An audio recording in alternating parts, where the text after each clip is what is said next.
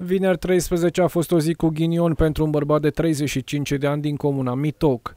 Omul a venit la Botoșan pentru a schimba o sumă importantă, însă nu a mers la un punct autorizat de schimb valutar, ci a preferat să facă afacerea cu două persoane necunoscute care l-au abordat pe calea națională. După ce a încheiat tranzacția, cele două persoane, un bărbat și o femeie din județul Neamț, s-au făcut nevăzute. Omul a numărat banii și atunci a dat seama că a fost înșelat cu suma de 1780 de lei. Bărbatul a sunat la poliție, iar oamenii legii au demarat imediat cercetările.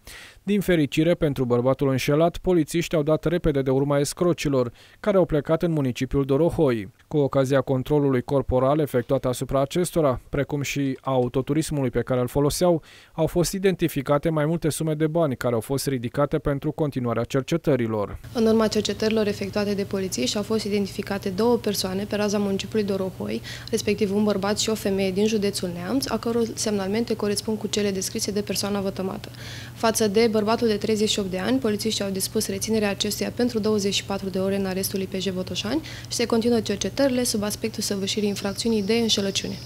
Victima înșelăciunii se poate considera un om norocos. Oamenii legii i-au restituit acestuia suma de bani cu care a fost păcălit.